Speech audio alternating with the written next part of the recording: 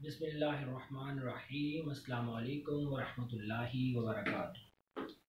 My dear students आज के इस वीडियो लेक्चर के अंदर हम जानेंगे कि गलवानोमीटर की सेंसिटिविटी क्या है और एक सेंसिटिव गलवानोमीटर हमें ज़्यादा इम्पोर्टेंस हम उसको क्यों देते हैं और ज़्यादातर डिवाइसेस में सेंसिटिव गलवानोमीटर को क्यों यूज़ करते हैं। ये सारी चीज़ें आज के इस वीडियो लेक्चर के अंदर हम जानेंगे। तो आइए हम लास्ट इक्वेशन से आगाज़ करते हैं, जो हमने लास्ट टाइम निकाली थी ड्राइव की थी, कि I is equal to C over N A B into theta है। इसमें ये वाला, ये वाली जो टर्म है, इसको मैंने कांस्टेंट कंसिडर किया था। And this constant term c over nab that is uh, uh, define actually sensitivity of galvanometer. इससे हम गलवानोमीटर की सेंसिटिविटी को डिफाइन कर सकते हैं। अगर हम एक्चुअल रिप्रेजेंटेशन ऑफ़ सेंसिटिविटी करना हो तो फिर हम N A B over C करेंगे तो वो सेंसिटिविटी की रिप्रेजेंटेशन जो है वो होगी। लेकिन हम C over N A B से सेंसिटिविटी को बढ़ा सकते हैं या इससे भी रिप्रेजेंट कर सकते हैं। तो आइए पहले डेफिनेशन देखते हैं। सेंसिटिविटी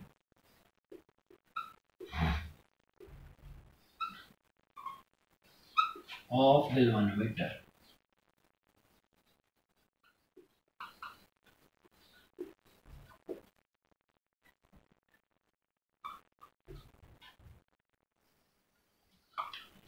एक सेंसिटिव ग्लोनोमीटर एक्चुअल में लार्ज डिफ्लेक्शन शो करता है for small amount of current पर तो उसको हम कहते हैं कि वो सेंसिटिव ग्लोनोमीटर है।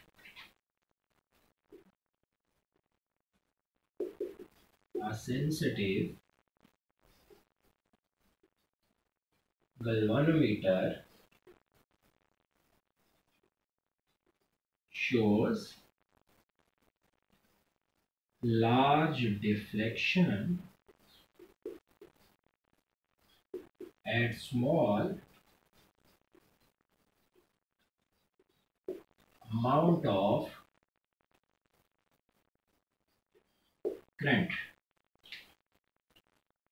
अगर हम बात करें एक constant value C over N A B की तो हम थीटा की वैल्यू लार्ज बनाने के लिए क्योंकि इन दोनों चीज़ों का प्रोडक्ट करंट के बराबर है।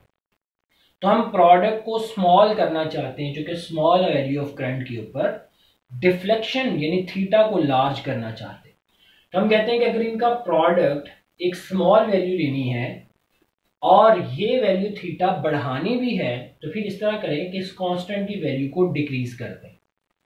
कांस्टेंट की वैल्यू जितनी छोटी होगी थीटा से मल्टीप्लाई करके करंट की वैल्यू उतनी छोटी हमें मिलेगी। या हम इसको, इसी बात को उल्टे तरीके से एक्सप्लेन करें कि थीटा की वैल्यू ज़्यादा हासिल करने के लिए कांस्टेंट की वैल्यू कम करके मल्टीप्लाई करो तो स्मॉल वैल्यू ऑफ़ करंट जो आएगी, उस स्मॉल करंट की वैल्यू पर लार्ज डिफ्लेक्शन शो होगी। तो अल्टीमेट रिज़ल्ट ये निकला कि हमें कांस्टेंट की वैल्यू को स्मॉल बनाकर सेंसिटिविटी को बढ़ा सकते हैं। So for increasing the sensitivity,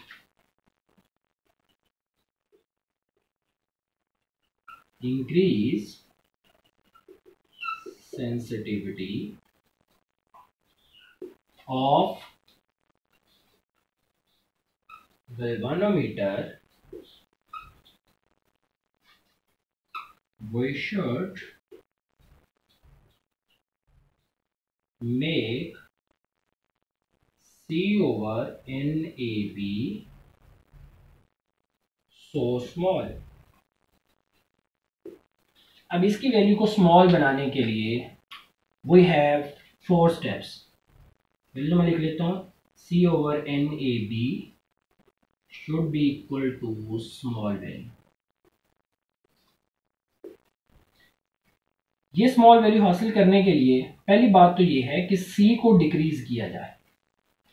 जैसे ही आप सी की वैल्यू को डिक्रीज करेंगे तो आपकी सेंसिटिविटी ऑफ़ गलवानोमीटर बढ़ जाएगी क्योंकि कांस्टेंट की वैल्यू डिक्रीज हो जाएगी सी की वैल्यू को डिक्रीज करना, इसका मतलब है कि you should have to use a loose spring लेकिन अगर लूज स्प्रिंग आप यूज़ करते हैं तो जैसे ही कॉयल रोटेट करेगी तो स्प्रिंग के अंदर रोटेशन लूज स्प्रिंग की रोटेशन इतनी अच्छी तरीके से वो उसको नहीं मैनेज कर पाएगी तो वो स्प्रिंग टूट जाएगा। तो इसका मतलब है कि हम एक हद से ज़्यादा सी की वैल्यू को डिक्रीज नहीं कर सकते तो ये तरीकाकार, कोई बहुत अच्छा तरीकाकार ना हुआ तो हम सी की वैल्यू को डिक्रीज करके, इस कांस्टेंट की वैल्यू को डिक्रीज करें और सेंसिटिविटी को बढ़ाएँ।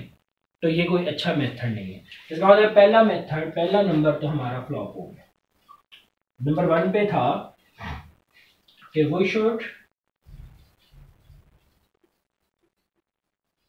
वो should make C small but it is not physically possible ये चीज़ फिजिकली पॉसिबल नहीं है। दूसरी वैल्यू पे आ जाते हैं कि ये वैल्यू टोटल स्मॉल करने के लिए स्मॉल वैल्यू हासिल करने के लिए एन की वैल्यू को लार्ज करो। सी की वैल्यू कम करो, या फिर नंबर ऑफ़ टर्न्स को इंक्रीज करो तब भी आपकी इस कांस्टेंट की वैल्यू डिक्रीज हो जाएगी और कांस्टेंट की वैल्यू डिक्रीज होने की वजह से आपकी सेंसिटिविटी बढ़ जाएगी। लेकिन नंबर ऑफ़ टर्न्स इंक्रीज करने का मतलब आप कॉयल को हैवियर बना रहे हैं। जब कॉयल हैवी हो जाएगी तो उसका मोमेंट ऑफ़ इनर्शिया भी ज़्यादा हो जाएगा तो उसको स्टार्ट में रोटेट करना मुश्किल हो जाएगा। तो इसका मतलब है कि आप नंबर ऑफ़ टर्न्स को इंक्रीज करके अपनी कॉयल को हैवी नहीं बना सकते। तो ये मेथड भी, ये तरीका भी हमारा नाकाम हो जाता है सेंसिटिविटी को बढ़ाने के लिए।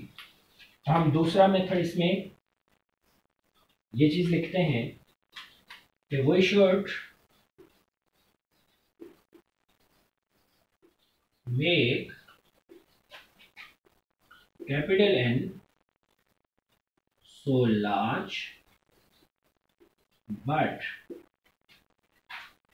it makes coil heavy this is not physical, physically possible. तो ये दूसरा तरीका भी हमारा ज़ाया है तीसरे पे आते हैं कि इस वैल्यू को स्मॉल हासिल करने के लिए डिवीज़न वाली टर्म एक और भी है एरिया इसको लार्ज कर दिया जाए। एरिया बढ़ाने से सेंसिटिविटी तो बढ़ जाएगी लेकिन कॉयल का एरिया ज़्यादा करने का मतलब है एक आप बड़ा गलवानोमीटर बना रहे हैं। लेकिन आज के दौर में तो लोग पोर्टेबल डिवाइसेस के ऊपर ज़्यादा ध्यान देते हैं। ऐसी डिवाइसेस जो छोटे साइज़ की हों और एक जगह से दूसरी जगह लेके जाना आसान हो, ऐसी डिवाइसेस को लोग प्रेफर करते हैं। इसका मतलब है कि अगर आप लार्ज एरिया की बड़ी डिवाइस बना लेंगे तो उसको एक जगह से उठाकर दूसरी जगह तक लेके जाना, ये भी फिजिकली पॉसिबल नहीं होगा तो हम लार्ज एरिया वाली क्वाइल को भी नहीं बना सकते। इसका मतलब ये मेथड भी हमारा नाकाम हो जाता है सेंसिटिविटी को बढ़ाने के लिए। नंबर फोर वो should make a large area of coil but it is not physically possible. इसका मतलब ये भी चीज़ डिज़ायर नहीं and one of the last factor that help us क्योंकि तीन फैक्टर तो नाकाम हो चुके हैं we should make the large value of magnetic field हमें एक बड़े लार्ज वैल्यू की मैग्नेटिक फ़ील्ड की वैल्यू की ज़रूरत पड़ेगी। वो लार्ज मैग्नेटिक फ़ील्ड इस फैक्टर को स्मॉल बनाएगी और हमारी सेंसिटिविटी बढ़ जाएगी। लार्ज वैल्यू को मैग्नेटिक फ़ील्ड हासिल करने के लिए बेस्ट वे है कि आप प्लेन पोल की बजाय कनकेव पोल यूज़ करें। प्लेन पोल का मैग्नेटिक फ़ील्ड जो है वो कंसंट्रेट इतना नहीं करता जितना कि कनकेव पोल का करता कनकेव पोल के मैग्नेटिक फ़ील्ड को पहले भी मैं एक यूज़ में बता चुका हूँ कि वो आपके अल्फ़ा की वैल्यू को ज़ीरो बना देता है। और दूसरा, उसी कनकेव पोल के ज़रिए हम एक स्ट्रॉन्ग मैग्नेटिक फ़ील्ड बना लेंगे और स्ट्रॉन्ग मैग्नेटिक फ़ील्ड की वजह से हमारी सेंसिटिविटी बढ़ जाएगी और ये कांस्टेंट फैक्टर कम हो जाएगा। तो इस कांस्टेंट फैक्टर को कम करके ही हम अपनी मैग्नेटिक सेंसिटिविटी को बढ़ा सकते हैं। इसका मतलब जो चौथा मेथड है, ये प्रैक्टिकली फिजिकली पॉसिबल भी है और यही हम इख्तियार करके मैग्नेटिक फ़ील्ड की वैल्यू बढ़ाकर सेंसिटिविटी को इंक्रीज कर रहे होते हैं। नंबर फोर पे, वो should use concave pole magnet that that helps help us to get large field and field भी जब लार्ज हो जाएगी large field and large sensitivity.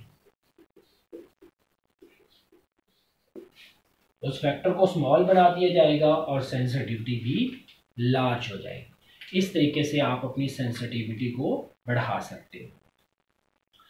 अब हमने एंगल थीटा की मेजर करनी है डिफ्लेक्शन के अंदर और इस थीटा की मेज़रमेंट से हम करंट की मेज़रमेंट तक जो है वो पहुँच जाएँगे। इस थीटा की मेज़रमेंट के लिए हम दो मेथड जो हैं वो इस्तेमाल करेंगे जो डिफ्लेक्शन के अंदर होंगे।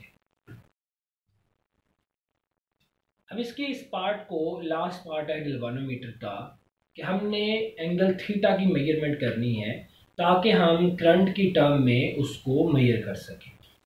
जब गलवानोमीटर का हमने आगाज़ किया था तो मैंने बताया था कि ये करंट की डिटेक्शन के लिए है मेज़रमेंट के लिए नहीं।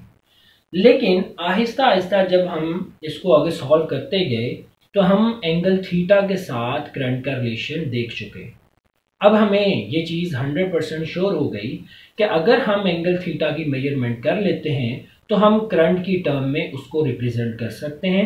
यानी करंट की मेज़रमेंट भी हमारे लिए इससे पॉसिबल हो जाएगी। लेकिन ये कोई बहुत ज़्यादा करंट की मेज़रमेंट नहीं कर सकता। रीज़न चूँकि हम एक सेंसिटिव गलवानोमीटर को पसंद करते हैं, और सेंसिटिव गलवानोमीटर तो वही होता है जो स्मॉल वैल्यू ऑफ़ करंट के ऊपर लार्ज डिफ्लेक्शन शो करे। यहाँ पे ये भी बताता चलूँ, कि हम सेंसिटिव गलवानोमीटर को क्यों पसंद करते हैं? क्योंकि सेंसिटिव गलवानोमीटर हमारी हार्ट बीट जो है, इससे जनरेट होने वाले स्मॉल करंट के ऊपर भी डिफ्लेक्शन दे सकता है। और यही प्रिंसिपल आपके गलवानोमीटर का यूज़ होता है टू प्लॉट ईसीजी ग्राफ जो आप ईसीजी e ग्राफ देखते हैं हमारे हार्ट बीट का, वो एक्चुअली में गलवानोमीटर से ही मेजर किए गए करंट से होता है और वो करंट स्मॉल वैल्यू का जो हमारे हार्ट की धड़कन से, हमारी हार्ट बीट से जनरेट होगी स्मॉल करंट उसकी मेज़रमेंट के लिए। अगर हम गलवानोमीटर को सेंसिटिव नहीं बनाते तो वो small value of current measure नहीं हो सकती। अब तो हम इतने स्मॉल करंट को मैयर कर सकते हैं कि जो हमारे दिमाग, यानी ब्रेन से जनरेट होने वाली करंट है, वो हार्ट बीट के करंट से भी कम होती है। हम उसकी वैल्यू को भी डिटेक्ट कर सकते हैं। यानी हम आज प्रैक्टिकली इतने सेंसिटिव गलवानोमीटर बना चुके हैं। तो ये एक अलग हमारी बहस है कि हम सेंसिटिव गलवानोमीटर क्यों पसंद करते हैं। लेकिन अब हमने उस गलवानोमीटर की आ, एंगल थीटा की मेजर करनी है डिफ्लेक्शन मेथड से। मेज़रमेंट ऑफ़ एंगल थीटा दो मेथड मैं यहाँ पे आपको करवाऊँगा मेज़रमेंट ऑफ़ एंगल थीटा की।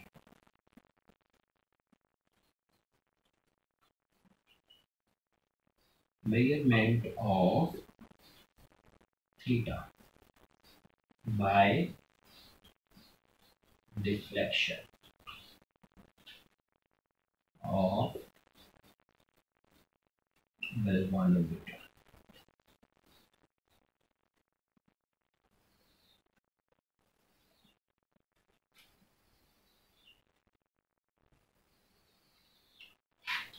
पहले मेथड का नाम है जी lamp and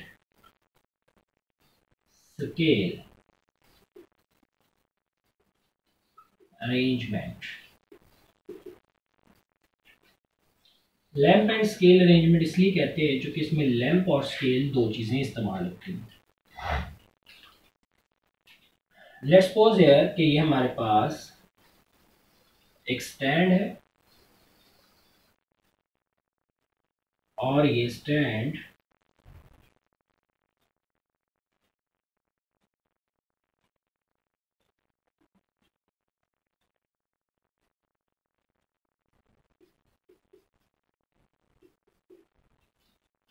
इस स्टैंड के ऊपर हमने एक स्केल जो है वो लगाया हुआ।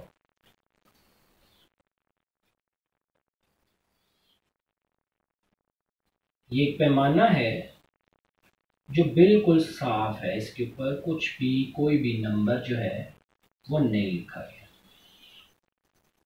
ये हमने लकड़ी का एक पैमाना ले लिया। इस पैमाने के नीचे यहाँ पे हम एक लैंप लगा देते हैं।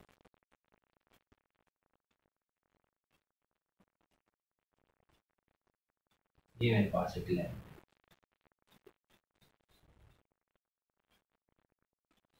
this is lamp and this one is scale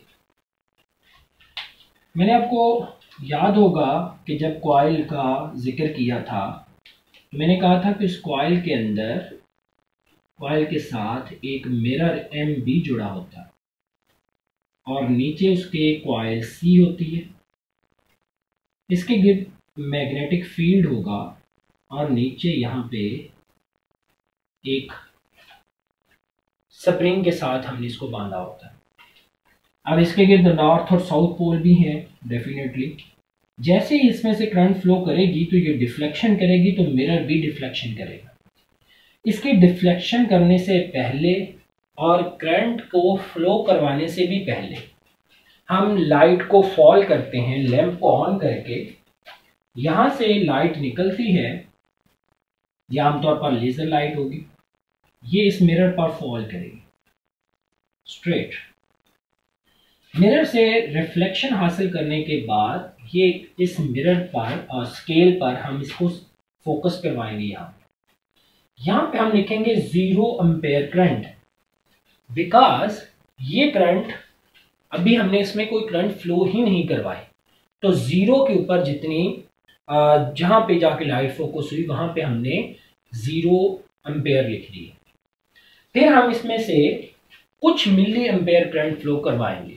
almost वो करंट जो है, वो दो से तीन मिली एम्पेयर या चार मिली एम्पेयर हो सपोज़ करेंगे अपने दो मिली एम्पेयर नॉन करंट इसमें से फ्लो कराओ। तो फिर ये डिफ्लेक्शन हासिल करेगा मिरर भी डिफ्लेक्ट करेगा। मिरर की डिफ्लेक्शन से वो यहाँ पे जाकर लाइट को फोकस करेगा। ये बीम वन थी, ये बीम टू हो गई यहाँ पे हम लिख देंगे टू मिली एम्पेयर फिर हम ज़ीरो और टू मिली एम्पेयर के दरमियान में बराबर दस दर्जे लगा देंगे।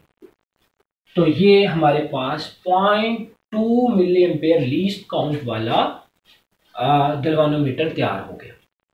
फिर हम उस करंट की करंट की डायरेक्शन उल्टी करेंगे तो यही लाइट इस जगह पर फोकस होगी तो ये नेगेटिव टू मिली एम्पेयर फ्लो हम कंसिडर करेंगे। नेगेटिव मीन्स के करंट ऑपोजिट सिमत में फ्लो कर रही है। और फिर इसके दरमियान में भी दस बराबर डिवीज़न जो है वो लगा दें एक दफ़ा हमें नॉन करंट इसमें से फ्लो करवा के फोकस करके वो स्केल तैयार करना होता है।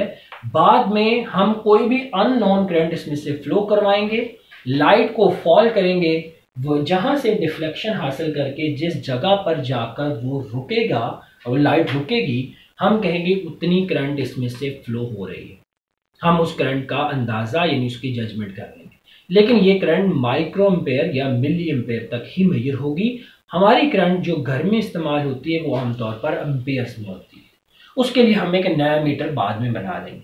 तो ये हमारी एंगल थीटा की डिफ्लेक्शन से हमने cross point known value of current से इसकी स्केल तैयार किया, जो स्केल हमें एम्पेयर्स के अंदर मिली एम्पेयर्स के अंदर करंट की मेज़रमेंट दे रहा है। दूसरा हमारे पास जो मेथड है, वो है पाइवोटेड और वेस्टर्न टाइप गलवानोमीटर बोलते हैं। पाइवोटेड टाइप गलवानोमीटर या वेस्टर्न टाइप गलवानोमीटर हम इसका नाम रखते हैं। ये गलवानोमीटर अब हमारी रूटीन में आमतौर पर यूज़ होता है। ये पुराना गलवानोमीटर है इसमें ये सारा सेटअप आपको इकट्ठा लेके जाना होता था, जो कि हार्ड काम था। अब हम पाइवोटेड टाइप गलवानोमीटर जो है, वो अपनी रूटीन में यूज़ करते हैं। और ये किस तरीके का बना होता है? इसके अंदर हमारे पास कनकेव पोल होते हैं,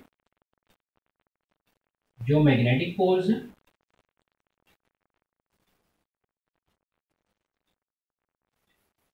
ये मैग्नेटिक पोल्स आर पोल्स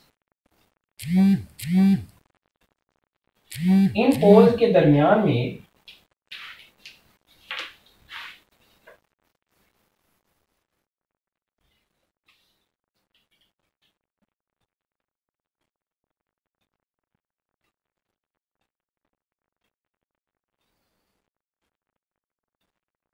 ये थोड़ा सा इसका व्यू हमें और बेहतर नज़र आएगा।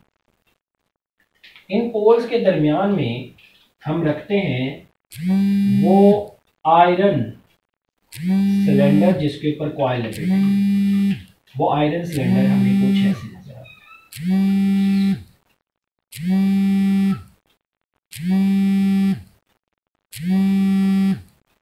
सिलेंडर इस आयरन सिलेंडर के ऊपर कॉयल लपेटी जो टॉप व्यू से हमें वो कॉयल ऐसे नज़र आती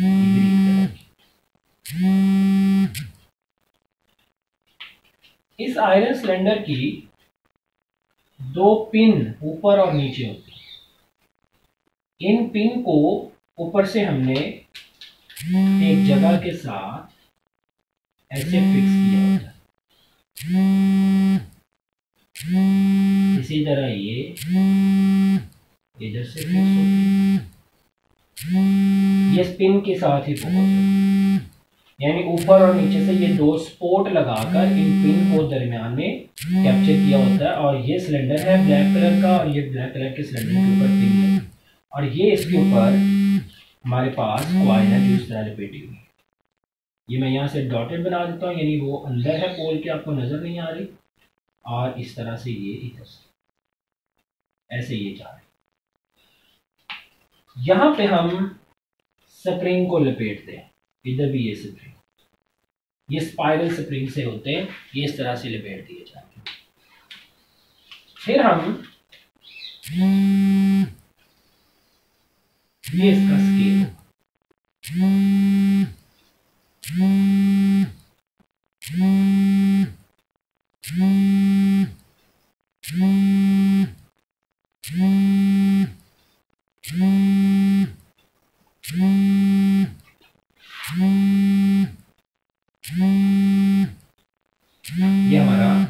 पूरा विवालमेंट तैयार हो जाता है। अब इसमें ये एक स्केल पिन होती है, जो यहाँ से लगाकर हम यहाँ तक ले आते ठीक है? जैसे ये रोटेट करेगा सिलेंडर ये पिन रोटेट करेगी तो इसके साथ लगी हुई ये नीडल भी रोटेट करेगी। ये रोटेट इस डायल के ऊपर करेगी। फ़र्स्ट ऑफ़ ऑल हम इसमें से कोई करंट फ्लो नहीं करवाते तो यहाँ पे ज़ीरो एम्पेयर लिख देते हैं। फिर टू मिली एम्पेयर फ्लो करवाते हैं।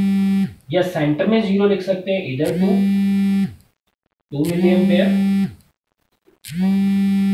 और इधर ज़ीरो मिली एम्पेयर और इधर negative two milli ampere opposite से इसके दरमियान में दस डिविजन करते हैं, इधर भी दस डिविजन करते हैं। अब आपकी नीडल जैसे ही इसमें से करंट फ्लो करवाएँगे, इसकी भी दो वायर्स होती हैं, एक वायर इस के ऊपर से लेते हैं, एक के नीचे से लेते हैं। इन दो वायर्स के अंदर से करंट की फ्लो करवा रहे होते हैं और वो करंट की फ्लो होते ही ये नीडल डिफ्लेक्ट करती है। नीडल्स डायल के ऊपर जाकर जहाँ पे रुकेगी, वहाँ पे लिखी हुई रीडिंग को हम पढ़ लेंगे। ये है वेस्टर्न टाइप गलवानोमीटर। अब यहाँ पे एक लास्ट चीज़ रह जाती है, वो है कि हम आयरन सिलेंडर के ऊपर ही ये क्वाइल क्यों रोटेट करते हैं? अगर हम आयरन सिलेंडर के ऊपर रोटेट नहीं करेंगे तो हमारी सिंपल कॉयल उसके अंदर रखी जाएगी तो जैसे ही हम करंट फ्लो करवाएँगे तो वो रोटेट करती हुई अपने मूवमेंट ऑफ़ इनर्शिया की वजह से जिस पोजीशन पर खड़े होना था, उससे आगे चली जाएगी। क्योंकि रोटेशन में थी तो रोटेट करती रहेगी। इवन डैट के करंट उसमें उतनी ही वैल्यू का था कि जो यहाँ तक लेके आ सकता। लेकिन ये आगे चली जाएगी। फिर ये पीछे जाएगी, फिर आगे। ये कुछ देर तक वहाँ पे ऑसिलेट करती रहेगी, फिर जाकर स्टॉप करेगी। ऐसे गलवानोमीटर को हम अनस्टेबल गलवानोमीटर का नाम देते हैं। लेकिन जैसे हम आयरन सिलेंडर उसमें प्लेस कर देते हैं तो इसकी मोशन स्मूथ हो जाती है और गलवानोमीटर की सुई नीडल वहाँ पर ही जाकर रुकती है जहाँ पे उसे रुकना चाहिए। तो ऐसे गलवानोमीटर को आप स्टेबल गलवानोमीटर का नाम दे देते हैं। तो ये दो तरह के गलवानोमीटर्स हम देखते हैं, लेकिन हम प्रेफर स्टेबल गलवानोमीटर को करते हैं, जिसकी वजह से हम इसकी नीडल जो है, उसमें सॉरी जो कॉयल है, उसके अंदर एक आयरन सिलेंडर प्लेस कर देते हैं। It's all about the galvanometer जो हमने पिछले लेक्चर से स्टार्ट किया और आज के लेक्चर में ये एंड हो गया। फिर बेटे टेक केयर अल्लाह हाफिज़